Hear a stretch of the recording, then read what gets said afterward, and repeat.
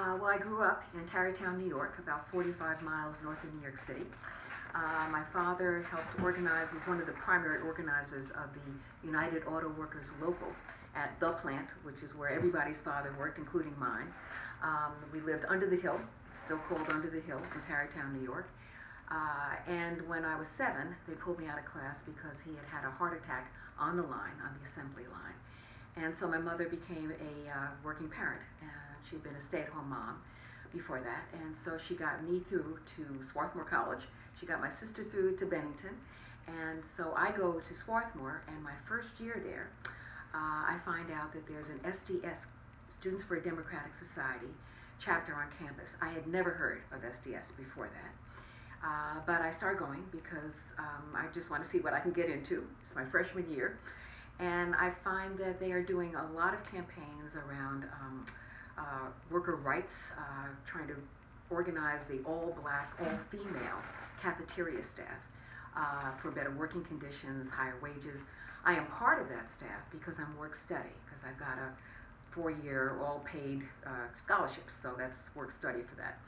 And um, so I become part of that, and they're doing, uh, trying to desegregate public facilities in Chester, Pennsylvania, Pennsylvania, Chester. Mm-hmm. Um, and then the third thing they're doing is working with this uh, local movement in Cambridge, Maryland, on the eastern shore of Maryland, uh, to desegregate facilities there.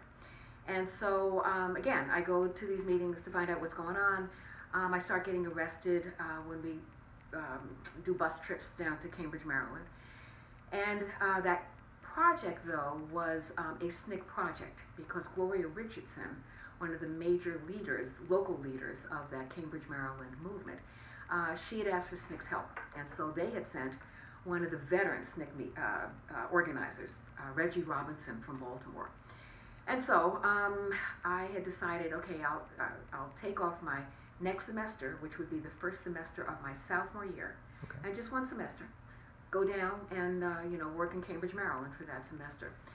Uh, when I get there, um, we're doing demonstrations, and Reggie Robinson at some point says, "Look, I'm going to see to the wedding in Ohio of a of a SNCC a, a SNCC couple."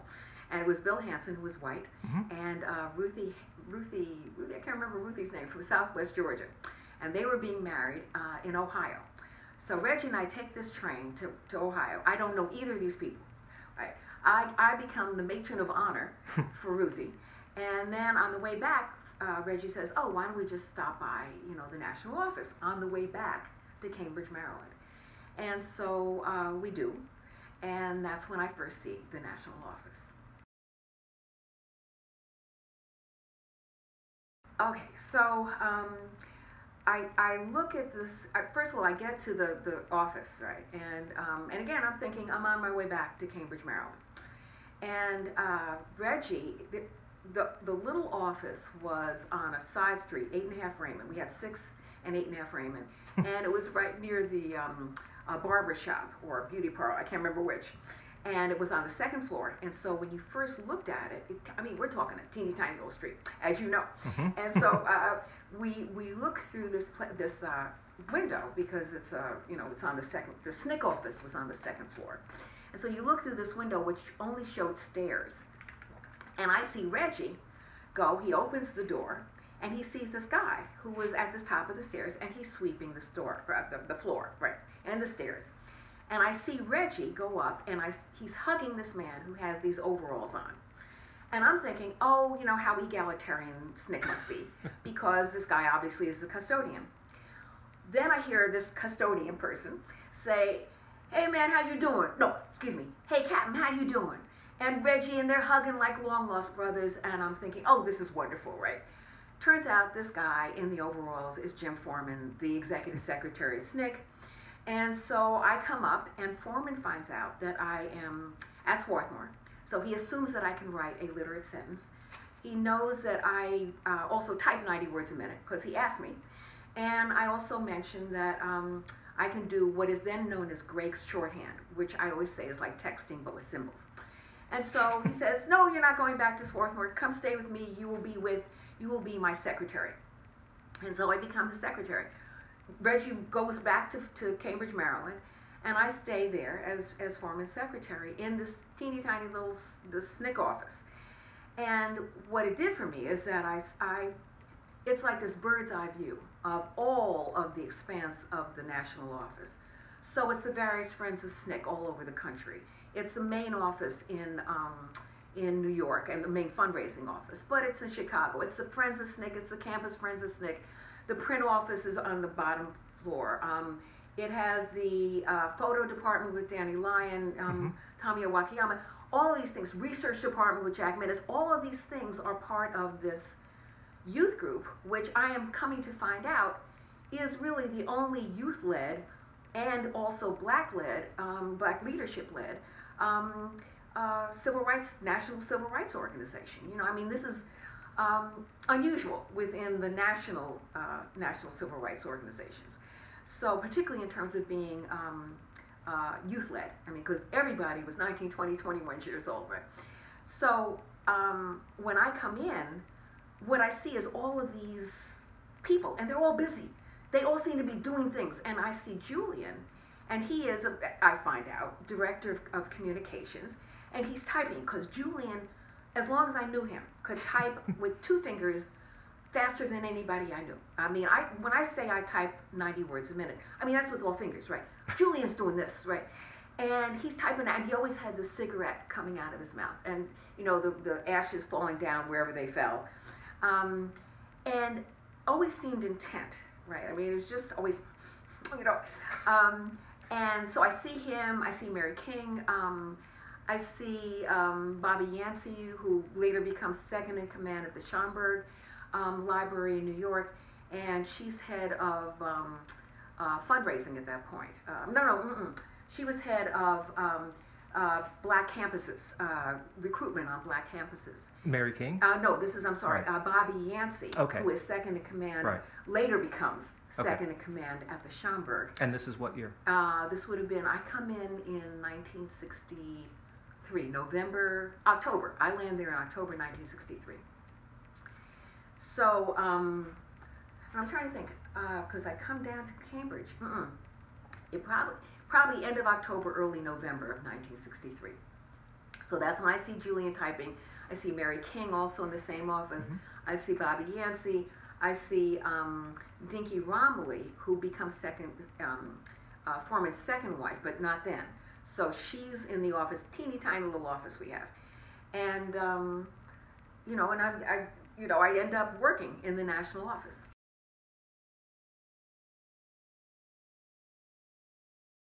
Busy, busy, busy, busy, and and didn't joke a lot at that point because I didn't know him that well. I didn't know that he had this rapier wit, which I later come to find out, but only after I get to know him. I mean, you have to understand, I'm, I'm coming from Tarrytown. I know nothing about anything, right? And so all of this is like so new to me. And so all the people I meet are like heroes to me. I mean, it's like they are changing the world as I know it, you know, and they're my age. A lot of them look like me, which I'd never seen in Tarrytown. And so this is like, I'm just in awe of everything. So um, I'm also in some ways um, a little afraid of everybody because they all know so much more than I do. And Julian, you know, when he would speak in meetings, people would listen to him, you know, I mean, and, and because he was always so clear. Um, and it always seemed to come from such a foundation of experience and knowledge. And, you know, I come to find out, you know, he was head of the Atlanta movement, you know, along with others, but he was part of the leadership. So all of these young people, like Julian, are coming out of um, campaigns in a way that I had no knowledge of. You know, I'm I, I, again, I'm coming from Tarrytown, New York, home of Washington Irving. You know, so um, I didn't really come to know Julian that well until later on. Okay. So all of this is new. I knew nothing about Julian. I barely knew about SNCC. Okay. The only thing I knew about SNCC was through Reggie Robinson because he was the field secretary in Cambridge, Maryland.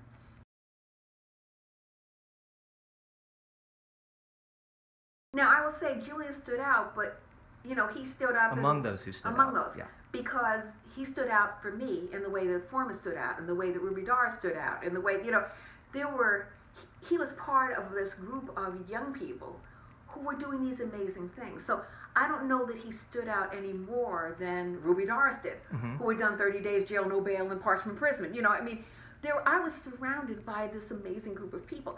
Julian was one of those. Um, so I come to know him a little bit more when I'm working on his campaign. But at that point, Mhm. he's just part of this amazing band of brothers and sisters Mhm. in a circle of trust, you know. Was it intimidating? Oh yeah, they were all intimidating. You know, Julie was intimidating. Forman was intimidating. Um, Ruby Inti- Doris was intimidating. Everybody was intimidating.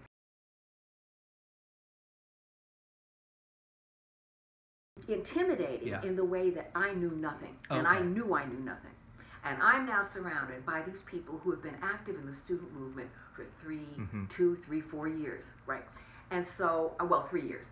And so, what I'm seeing is people who are coming in and at staff meetings having opinions, not just about what's going on in their local movement, but also opinions about what's going on in Nicaragua Mhm. or Ghana or Mhm. these newly independent African nations. I'm hearing them know about the world in a way I never knew about. So I'm just sitting there, I'm taking notes, right?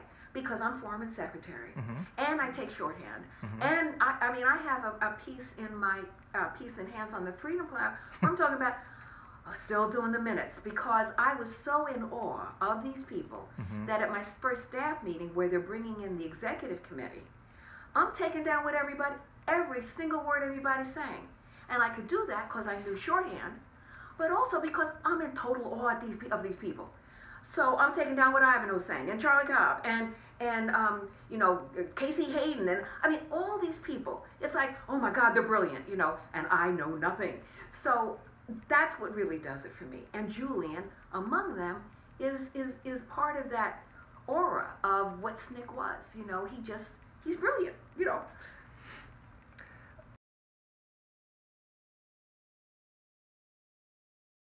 I knew that Julian, first of all, it's just watching him work. Mhm. Okay, so I would see hear Julian talking to these, you know, Claude Sitton at the New York Times, you know. I mean, major people whom I come to know as major journalists, right, at like the paper of record, right? And he's talking to them on an equal basis because Julian knew so much and he retained so much. And he was so, you know, I hate to say it because black folks are, it's always, oh, he's so articulate. But he was, you know, he was amazing with that. And he had this base of, I mean, he had known Rosen, you know, I mean, so it's like he could bring in all of this information and put it in a context so that it made the struggle that we were dealing with real. Mhm. And he always spoke the truth. It wasn't only that he had absolute integrity, but he made sure that when he said, and Ju- uh, uh, Dottie Zellner, who worked with him before I get down there, and is still a close friend of mine, Dottie said, you know, when we said that there were 50 people at a mass meeting, there were 50 people at a mass meeting. So when Claude Sitton in the New York Times, here's Julian say, we had 50 people in a New York at, at a mass meeting. Claude Sitton knows this is the truth because Julian's going to tell me the truth. He's not going to expand on it. He's not going to, you know, lie about it. He's not going to do what the idiot in the White House is doing. He will tell me the truth, you know. And so when Claude Sitton is talking, um, Julian is also taking notes because he always took notes on everything.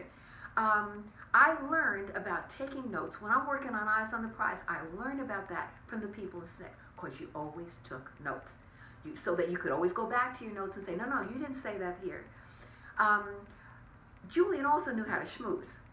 so Julian could sit in with, again, journalists, right, of any stripe, and he's talking, and you could hear him, you could see him, you know, and he enjoyed people. He really had a love of people, including journalists. And so you could, you know, you would see him sometimes um, uh, at meetings, and he's talking to these folks, you know, and he's talking in a kind of camaraderie way. You know, he knows how to. Um, he just always met people on their own level, you know, and he could do that because he had such an openness and such a. Um, um, I mean, I would say warmth, but that seems touchy feely, and that Julian was never touchy feely. Um, but there was a there was a sense he had that he liked you, if he if he liked you, that he showed that, and that um, you know he um, yeah. I'll st- I'll stop with that.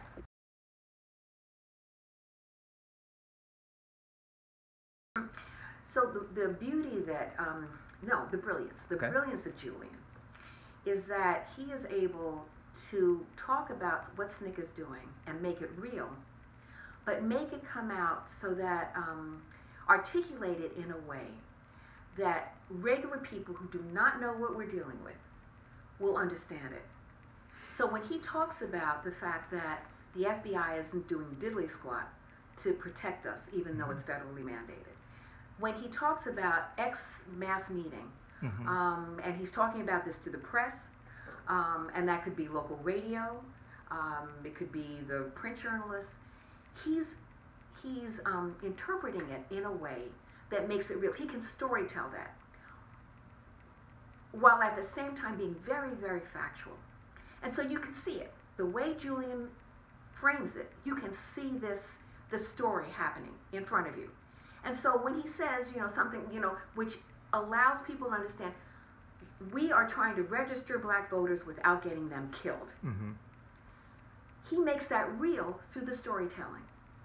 When he talks about Mrs. Hamer getting beaten in Winona in 1963 in a jail cell in Miss- Winona, Mississippi, with June Johnson, who was then 15 years old, with Annell Ponder, with others, he can make that real because he brings it forward without some, you know, um, uh, by storytelling it, by making these people real to the folks who were listening to him.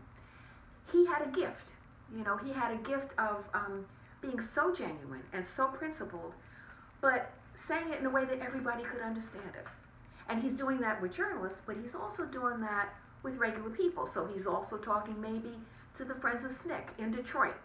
Um, now, certainly the Friends of SNCC person who is doing is doing that as well, but he's also, in addition to talking to journalists, he's also getting out the student voice, Mhm. and he's writing that with Mary King or or, or Dottie Zellner.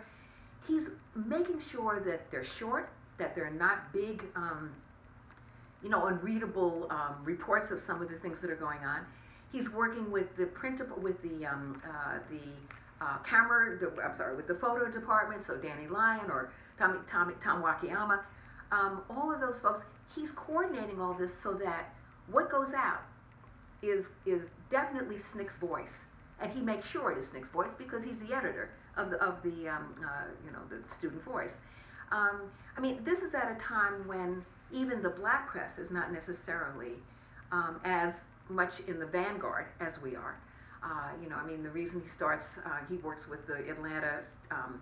Oh, what was the? Because the Daily World was The Atlanta Inquirer. Yes. So the, the Atlanta Daily World was the really right wing um, Republican paper, right? Black paper. Mhm. Um, but so he works on the Atlanta Inquirer um, while he's still in, the, um, you know, going to Morehouse because um, he knows that there has to be another voice that will represent what's really going on in the student movement. Well, he's able to talk to a lot of the black press in a way that they will understand.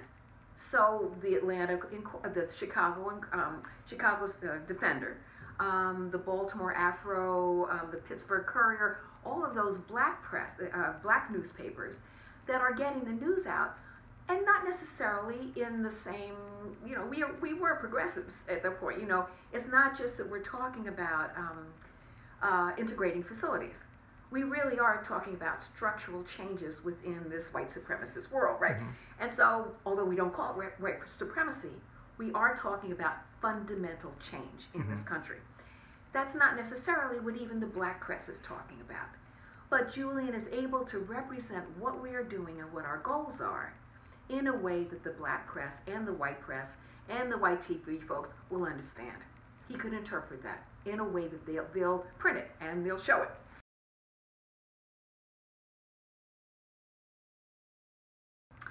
Well, I'm not sure whether, um, see, he was among the elite.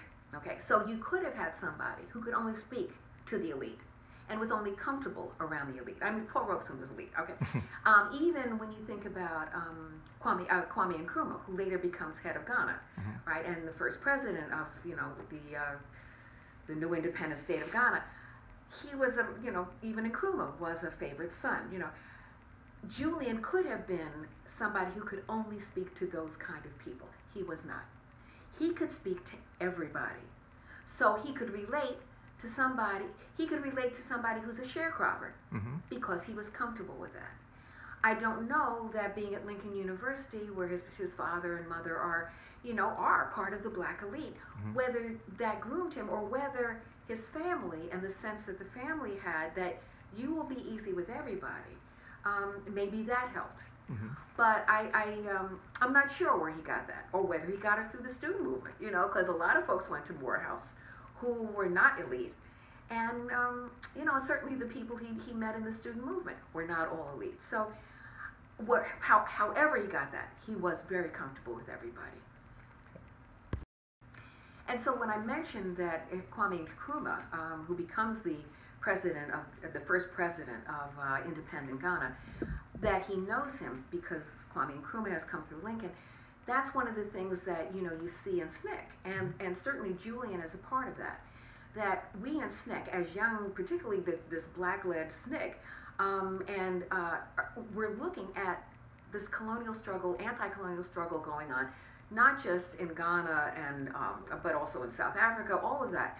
Well, one of the things that I realized when I come in, I knew nothing about this struggle, right?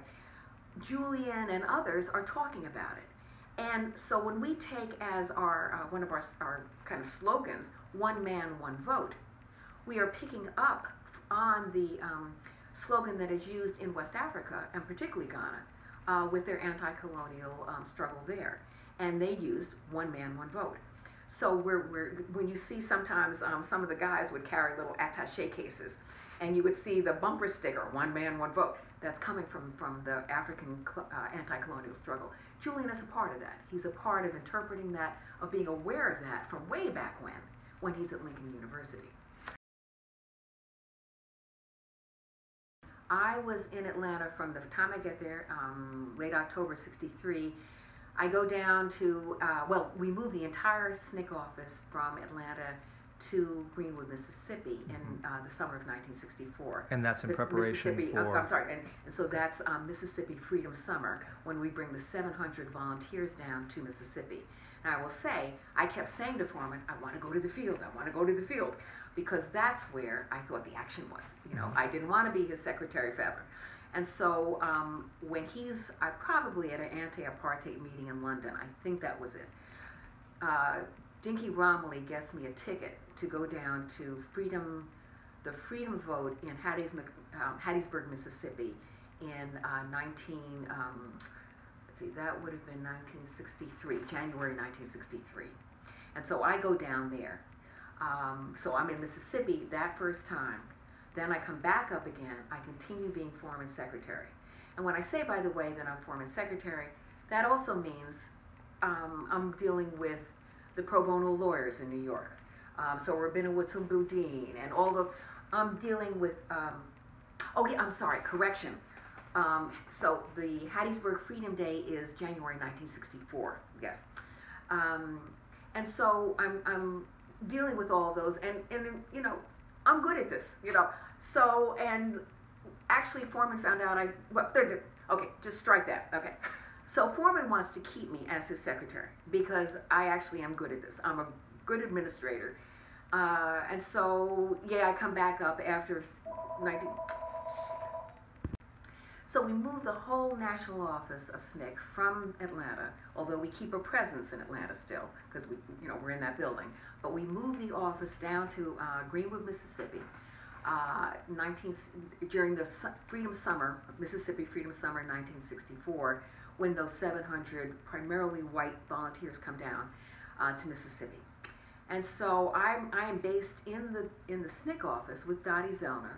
Uh, and we're running the WATS line, which is the wide area telephone service. That's the 800 line, uh, where we contact all of the SNCC projects throughout Mississippi um, twice a day to make sure um, that people are still there, that they haven't been shot, to just check in. And then we do written WATS line reports.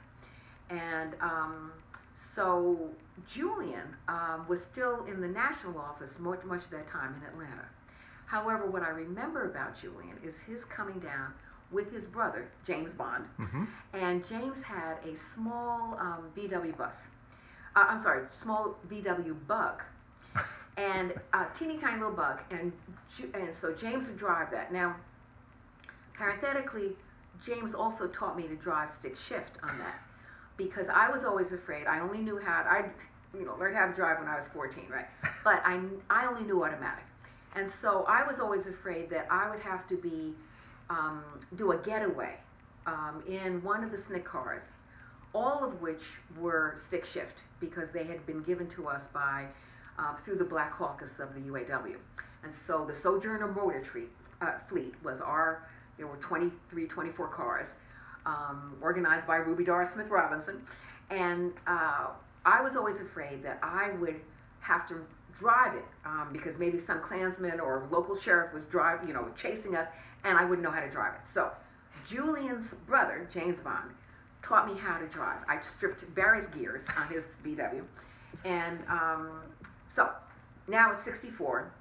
Julian and James are down, and they are doing um, making a tour of some of the SNCC projects, because Julian's idea was that he would do actuality um, uh, audio, and so what he would do is he would. Um, I should preface this by saying that the applications that the, these volunteers had to fill out uh, showed um, was maybe three or four pages, and one of the things that they said was, uh, uh, well, among the things they said, back up, so you'll edit this out. Okay. On this application, they had to note not only whom to call in case of injury or death, but also what were the media outlets in their location. And so that was printer, print, print newspaper, you know, print, as well as TV and radio.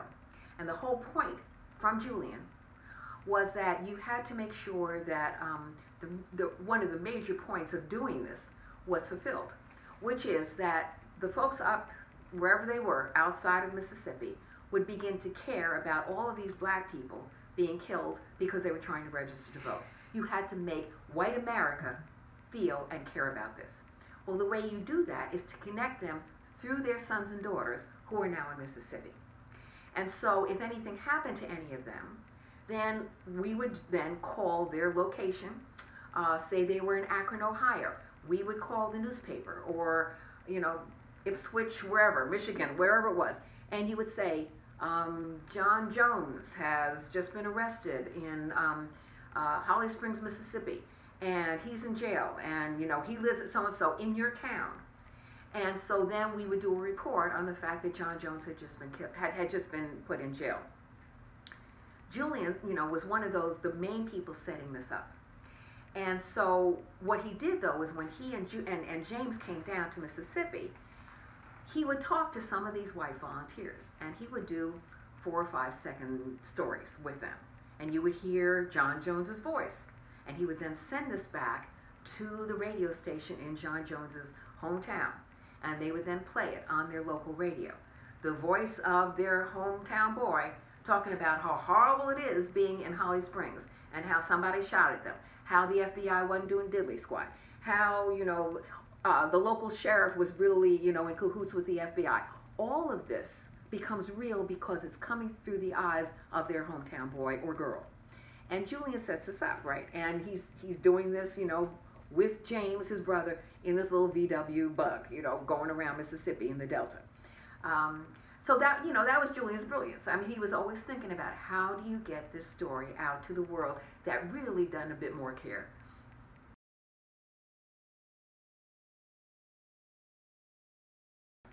I don't think Julian ever thought at all about doing this, right? I don't think it was ever in his mind. What happens is that Ivanhoe Donaldson, who was this legendary SNCC field secretary, right, had just come out of Mississippi. We had just gone through um, 1964, um, not just Freedom Summer, but then um, being in Atlantic City. And I went up, Julian went up, you know. Mm. Now I'm trying to remember, did Julian go up to Mississippi, to Atlantic City? I do not remember. I remember all of us driving up from Mississippi. I don't remember. But in any event, um, Ivanhoe, Charlie Cobb, all of those folks. Ivanhoe, no, I'm sorry. See, now I'm backing up. Okay, let me back up because I was just with Charlie and I'm trying to think if he was actually. Yes, he was. Of course he was. Okay, so back up. Okay. Um, so all of us had just been through um, not only Mississippi Freedom Summer and all of the violence and all of that, but then we go up to Atlantic City, and the traditional Democratic Party under Lyndon Johnson um, turns us back. You know, with Miss Ella Baker, we had a sophisticated lobbying effort. We knew, I mean, we had um, a ticket. We knew everybody who was on the credentials committee. We knew all of this, even as 19, 20, 21 year olds. We knew who to whom to um, to, to lobby with. We thought we had it enough votes to get out of the credentials committee onto the floor of the of Atlantic City, the the uh, um, Democratic convention. And then, of course, all the cards fall out um, because Lyndon Johnson is afraid he's going to lose the Dixiecrat vote. What it told all of us, the SNCC, was you cannot depend upon the good wishes of the liberal Democrats. You can't depend on You have to depend on the folks who are most at risk in their own communities. So it's on that, it, with that sense that in 1965, when we're coming off the Selma to Montgomery March, I and Stokely and a lot of other folks go into Lowndes County and work with that local organization to form the Lowndes County Freedom Organization because you can't depend on folks who are not part of um, the oppression that we're experiencing. Okay, doesn't necessarily mean only black folks, but it does mean it has to be the people who are directly experiencing the oppression. So that's happening in 65. I am in Lowndes County when I get the call from from um, uh, Ivanhoe Donaldson, come work with us. We're going to run Julian Bond for this single member district in Atlanta. So I come out of Lowndes County and I go back to Atlanta and we start working. Now, this is Ivanhoe because Ivanhoe decides okay, in the same way that you're doing Lowndes County Freedom Organization, and in some ways the Mississippi Freedom Democratic Party, you can also possibly bring SNCC's principles and, or, and, and grassroots organizing philosophy to a major city. And that will be the single, single member district. You run Julian, whom Atlanta knows. They know his family because, I mean, you know, Julian's a prince. I mean, he really was. He's the prince, right? He is from this amazing family. He is wonderful and brilliant and intelligent and well spoken and all that, and absolutely principled. So, what Ivanhoe says is to, says to Julian, and and convinces him, you know, we can we can I'm sorry, we can win this. We can really win this. So then he brings Charlie and Charlie Cobb because they're they you know they're running mates and stuff, and so the two of them become the the the uh, campaign directors. I become the office staff, having just come from Lowndes County, Alabama. Now, at the same time that Ivanhoe and Charlie are running Julian's campaign as the campaign managers, and it's really Ivanhoe, um, they are also running the, at the same time, there is another campaign going on that both Charlie and Ivanhoe are running. It is in Springfield, Massachusetts, because Charlie's, Charlie Cobb's father, Reverend Charles Cobb, a uni, uni, uh, United Church of Christ um, minister in Springfield, Massachusetts, is running for mayor of Springfield, Massachusetts. So Ivanhoe and Charlie are running back and forth, driving back and forth between Springfield, Massachusetts and Atlanta. That's a lot of miles. You got it. And I assumed that um, Ivanhoe had told Ruby Doris that he was doing this.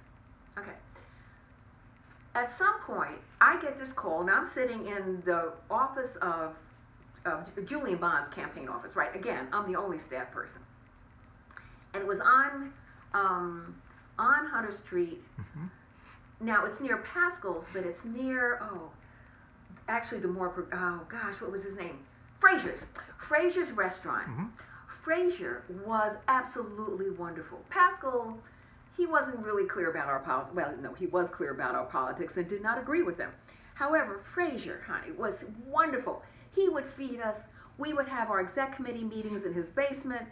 Um, it was wonderful. So, um, right next door to Frazier is where I was. And so I remember getting this call from Ruby Doris Smith Robinson, who was the you know, really, she ran the, she was the office manager, but that doesn't even say how outsized her function was in SNCC. And she says, she's looking for Ivanhoe, doesn't know where she where he is. So she calls me and I says, "Oh, uh, yeah, he's up in in New Haven, in um, Springfield, Massachusetts." She says, "What?"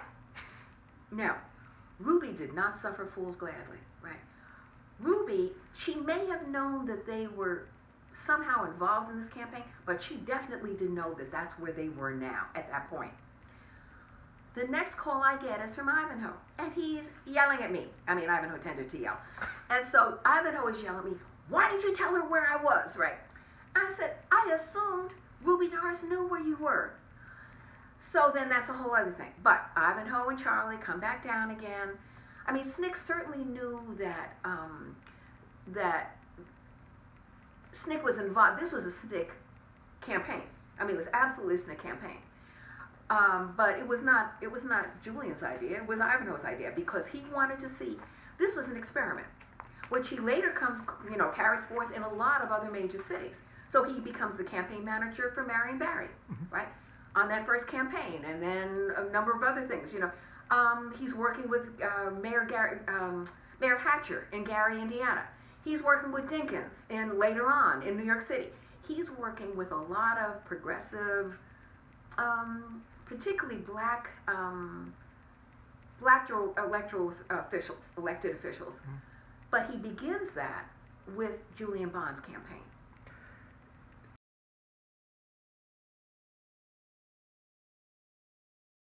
You know, I don't even know. By the time I get there, it's a fait accompli. Mhm. You know, and so all I know is I'm running this office. I'm trying to make calls. I'm doing the, the calls about, you know, will you get out and register? Are you registered? My main memory of that, though, is um, trying to get people to do events where we'll do house parties for Julian. Mhm. And I had gotten this one event, and it was the Red Rosebud Savings Club. And it was a woman who, um, uh, 80, well, they were kind of late 70s, early 80s black women out Gordon Road in, in Atlanta In the West End. in the west end of Atlanta. And um, so I had arranged for this to, you know, to go on. It was a Sunday. And I'm waiting for Julian to hit the office so that I can drive him to the West End, to the Red Rosebud Savings Club. And he's not coming, and he, I, he, I don't see him, and I'm worried. And at that point, I am somebody who is not used to speaking in front of any groups. But I'm thinking I'm going to have to show myself and go by myself to speak to the Red Rosebud Savings Club. So I get in the car and I'm driving down uh, uh, Hunter Street, now Martin Luther King Drive, um, and I'm heading, and just as I pass going one way toward the West End, I see Julian and his then wife coming the other way. And I, I stop on Street. I stop the car and I say, Julian, Julian, we got to go to the, the Rosebud Savings Company. And um, what had happened was, oh gosh, why am I, I'm blocking out her name, his, his first wife. um, Alice. Alice. Mhm. So Alice says, I see them negotiating. Finally, Julian gets out of the car. He gets into my car, and she drives away. And he says to me, he, get, he gets in my car, and he says, Julie, uh, he says, Alice finally got, you know, he, she's not happy because we were going to do the wash. And it was finally a point where he, you know, she, she could corral him to do the wash. So um, I said, but we got to be there. We're already late, right? Okay, so we go on. And he walks into this group of, I swear, couldn't have been more than eight or 10, 79, 80 year old black women. And you can tell they are so, they love him.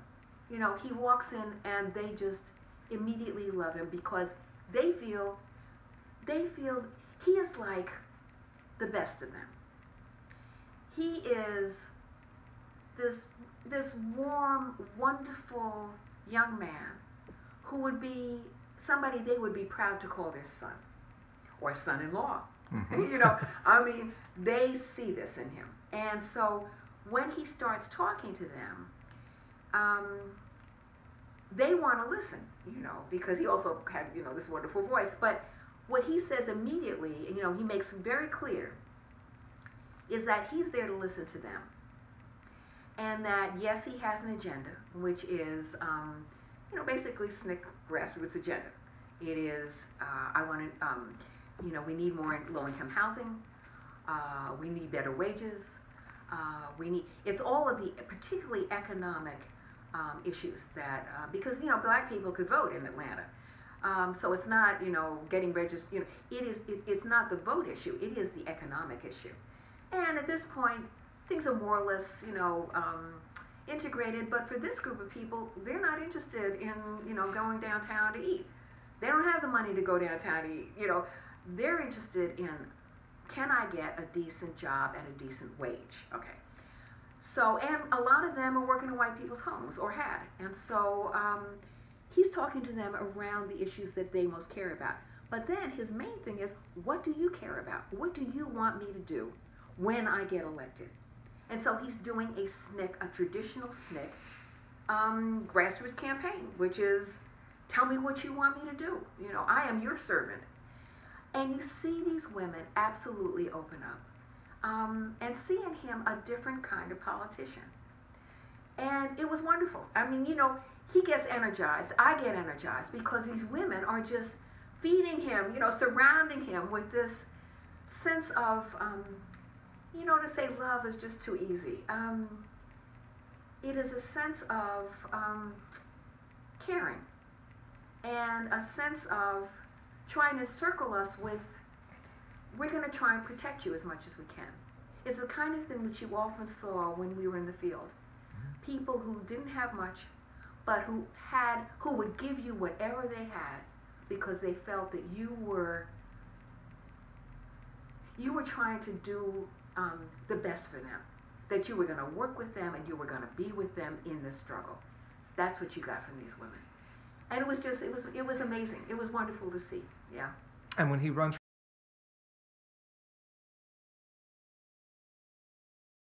Well, the thing is, I had been, I mean, all of us in SNCC had been used to working with people who were three times our age. Mhm. You know, I mean, Amzie Moore is the one who had been doing work, you know, in the Regional Council of Negro Leadership from the 1950s. You know, they're the ones who had always guided us.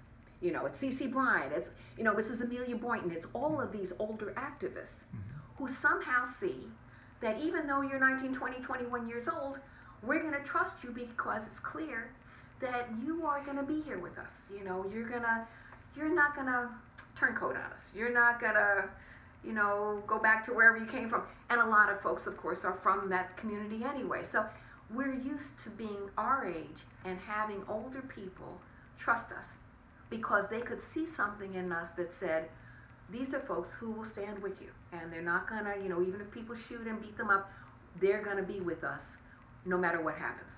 And so it was not unusual to see these older women see the same thing in Julian that all, all these older people had always seen in SNCC people. Where did most of his support come from in the district he won? My sense was, and I, I'm trying to remember back now, but a lot of it was just regular people. It was not, um, it was not the uh, middle class. It was not the the usual black middle class in in um, in Atlanta. They were going for whoever the person was who everybody thought was going to win, including me. I didn't think Julian was going to win, right? Uh, so it was. They were not usually our base. It was always the people who felt that they did not have a voice. The black middle class thought they had a voice in the usual black elected officials who were there, the ministers, the black businessmen and women. Um, that's not where the base of our vote came from.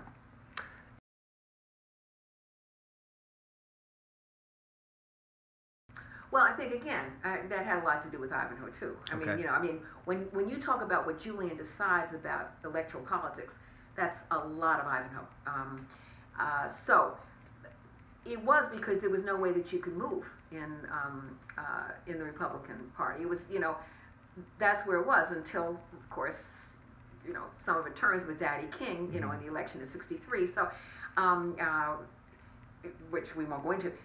The um, the main point was you couldn't run in as a Republican because it was sewn up. Mhm. That was sewn up by the Black Republicans. Uh, so you had to, you know, and as a single member, this was a new district, and yeah, you could do that.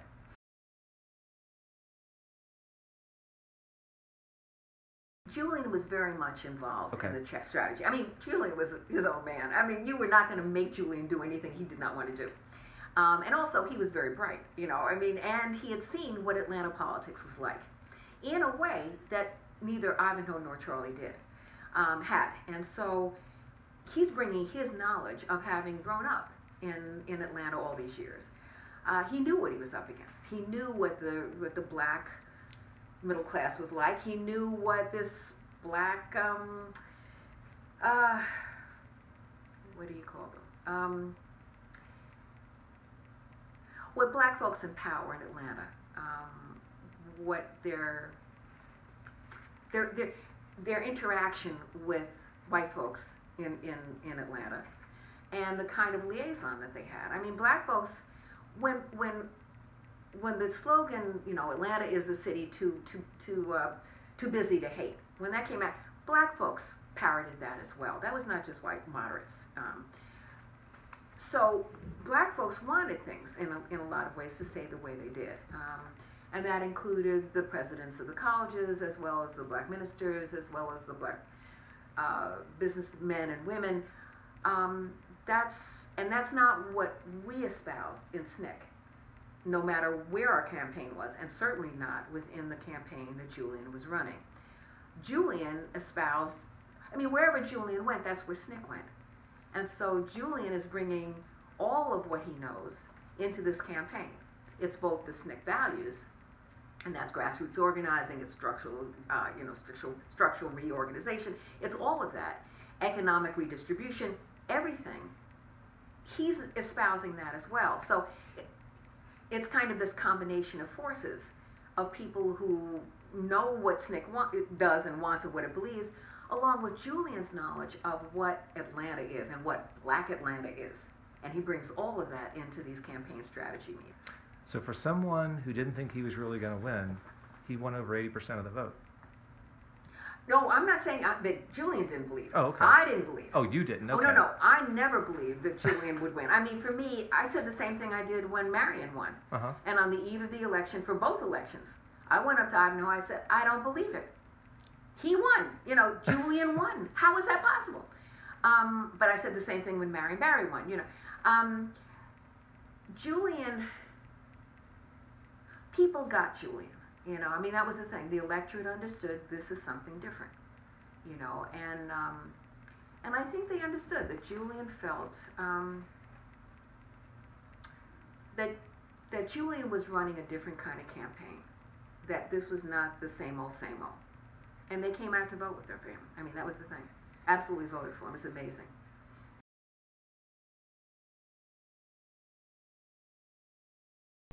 Yeah, well, I first started working on Eyes when there was the first incarnation of it, and that was in 1978.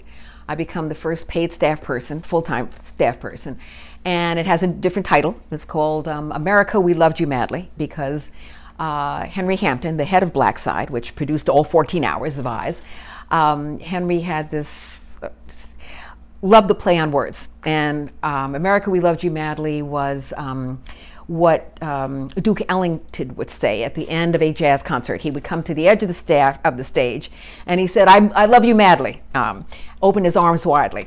So um, Henry loved the play on words of madly because he thought that was black folks' relationship with this country. And so, uh, but I hated it. And so I, when we finally got staff together, uh, then I decide uh, that I'll send out this memo, which I still have. And I, okay, so I have this, I still have this memo, and it says, it begins uh, to Cap Cities, because Cap City, Capital Cities Communications was now funding it uh, by 78. And it said, to Cap Cities folks, and it starts, uh, y'all know how much I hate the current working title. So below are the um, first, um, first phrases and the titles of freedom songs. There'll be a tie-in musically, you know, there's no order of preference, da da da. So I start with, you know, ain't gonna let nobody turn me round. Then number six is keep your eyes on the prize. I go all the way down, and there's number 27 or 28, has a little asterisk on it, and it says, um, as a as a proposed title, uh, we sang and prayed, and they beat the shit out of us anyway. Okay, and the asterisk, and then the asterisk says my my personal favorite. Now, Henry obviously did not take that, but what I was told by Steve Fayer, who was the series writer, was that up until broadcast, he was telling Henry, "Eyes on the prize, nobody will get it." That was the that was the title Henry chose. Nobody will get it, you know. Um, so that didn't get the funding ran out for that for various reasons.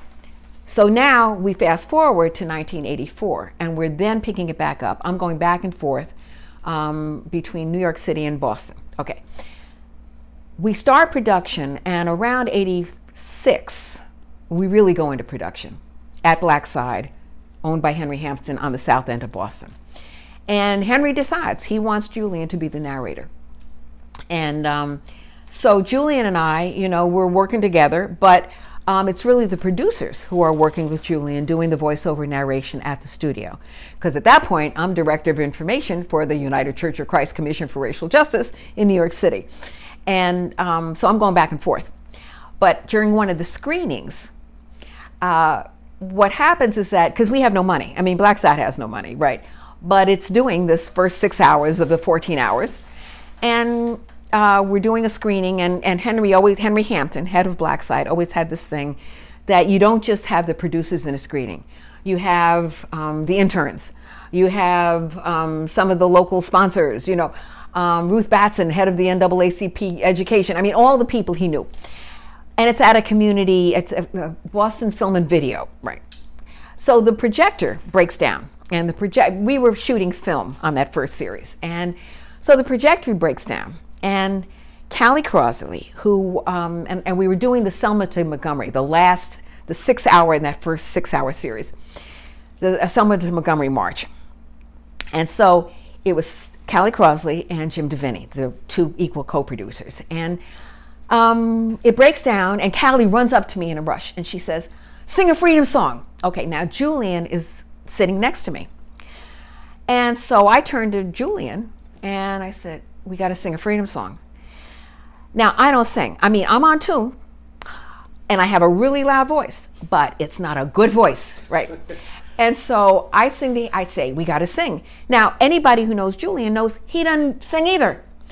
But we start singing. So we start singing, ain't gonna let no projector turn me round, turn me round. And Julian is singing. He does not care because what's wonderful about Julian is he does not care if he seems silly. You know, I mean, he's Julian, right? So we're singing, and we get not only these producers who by this time know all these freedom songs, right? Because they've been working with this footage all this time archival footage, working with interviewees who sing the freedom songs in their interviews. We also get these scholars, you know, who are like um, um, Charles, not Charles Payne, but um, oh, who did local movement, um, local local people. I'm now going to forget his name. Not the one who precedes Charles Payne on local movement history. Oh, I'm forgetting his name. Scholar. Um, John Dittmer. Okay, so John Dittmer's in there. Just lots of folks who are doing, um, uh, who are our scholars, you know, um, and and so these scholars are not used to singing either. They're rather stiff, you know, and they're singing because there's a spirit now in this room, and everybody's singing this freedom song, you know, and loudly, you know, and Julian singing loudly, you know, and it's just this wonderful moment where we all get into the same space. It becomes a different space because, as it did for mass meetings, you know, the, the movement songs make it a different kind of space, you know. And everybody's, it's like people feel differently now, you know. I mean, it's like we're back in the movement, you know. And so they look at this, the cut differently too. I mean, it's like, you know, this is a movement song. This is a movement cut. This is a movement movie. You know, all this changes. Um, and so it's just lovely. You know, it's just lovely. Um, so that was my experience with Julian on the cut. But I will say, um, everybody who worked with Julian, all the producers who work with Julian um, doing the voiceover narration at a studio, everybody had stories to tell about Julian. And everybody felt like he was their new best friend, you know. So I remember um, one of the, Paul Stekler, who did this, who was on the second series of Eyes on the Prize. And Paul mentioned how he went, he was talking to Julian, and I can't even remember the joke that Julian did. But there, Julian, you know, was still smoking at that point, so he had to take a smoke break, you know. And so he's going outside, and he says some funny story to Paul Stekler that Paul still remembered, but of course I have now forgotten. But everybody remembered how amazingly funny Julian was. You know, I mean, Julian could just crack you up. You know, he just. Um, so anyway, that that's the end of that story. Yeah.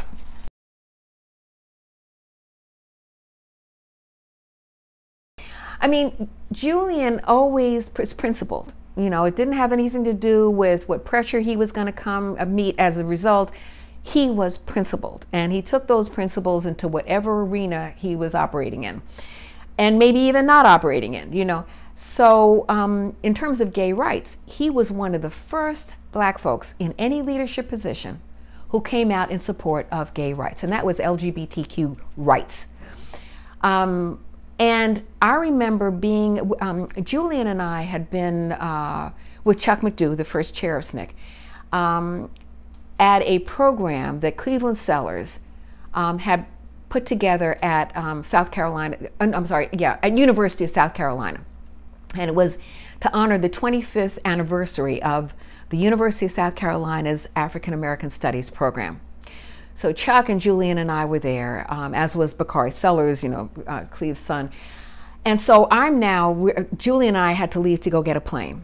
So I'm now in the airport at, at, at the South Carolina Columbia Airport. And I say to Julian, um, you know, I asked him, how did you manage to go against all that black leadership and come out in support, such vocal support of gay rights? And he starts talking about, you know, these retrograde black ministers and, um, you know, uh, black leadership that really did not see. You know, and nobody's saying that gay rights is the same thing as the black freedom struggle. Not saying that, but it is a struggle and it is a campaign that you've got to support. And so he talks about that and he, he talks about the slam back, you know, the pushback that he gets from um, from some leadership that he just expected. Um, he expected it from a lot of folks, but there's some that he didn't expect it from. Um, but no matter what happened, he was going to make he was going to hold strong. And then he starts talking about how one of the the um, one of the strategies he used was that he would quote the Bible. Now, this was very funny because, you know, Julian was an atheist. And so um, he would quote pieces, you know, um, uh, phrases from the, you know, call it phrases, um, tell him how churched I am. Um, he, he would quote, um, oh, my mother would smite me, I swear, because um, she read the Bible five times um, over. Okay, uh, what do you call it? From the Bible, it's biblical verses. Okay, so he would go to, you know, so and so and and talk about this this particular verse that said well, if you are, you know, menstruating and you are a woman, you, you have to use certain kinds of cloth and you can't come out. And so then he would say to these black ministers, well, so are you saying that this is true still too? So if you're going to go back to what the Bible says about this particular thing and gay rights, are you going to then hold strong about, you know, Ham and so and so and so all the the horrible things that are in the first in the Old Testament?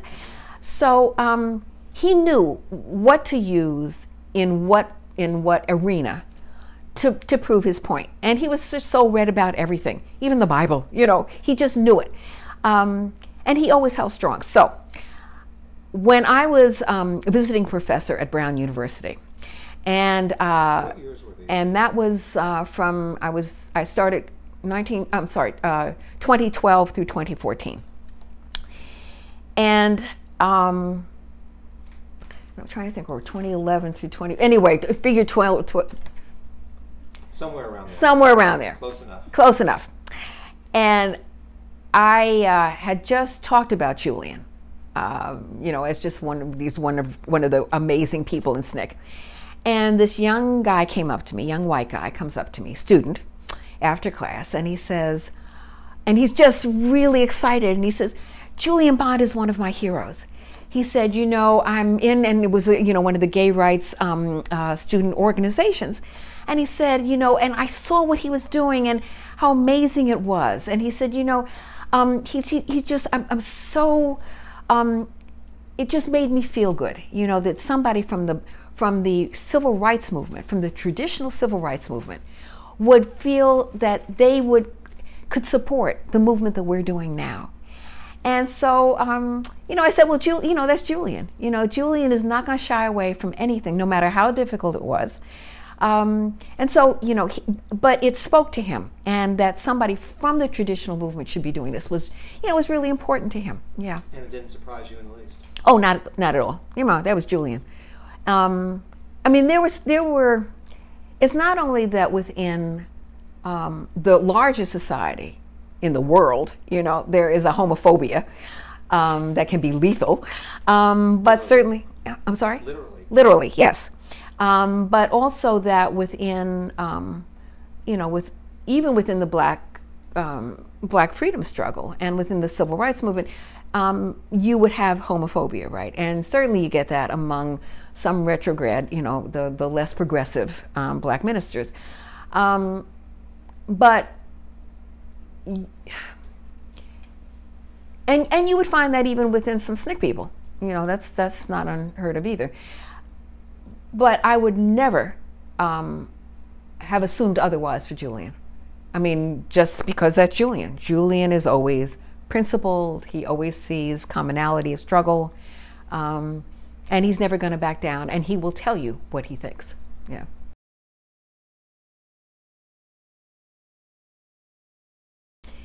Yes, what I'd like to leave with is um, something that I said. I, was one of the two SNCC folk who um, who spoke at uh, Julian's memorial, and it was a wonderful memorial. And Tim Jenkins was the other person from SNCC. But when I spoke, um, I had um, I, I, ended with something that Julian said um, to a reporter. No, actually, to a. um, trying to think. Let me let me just get back to what he did. Oh, let me let me say it. Yes, let me let me read this. Yeah. Um,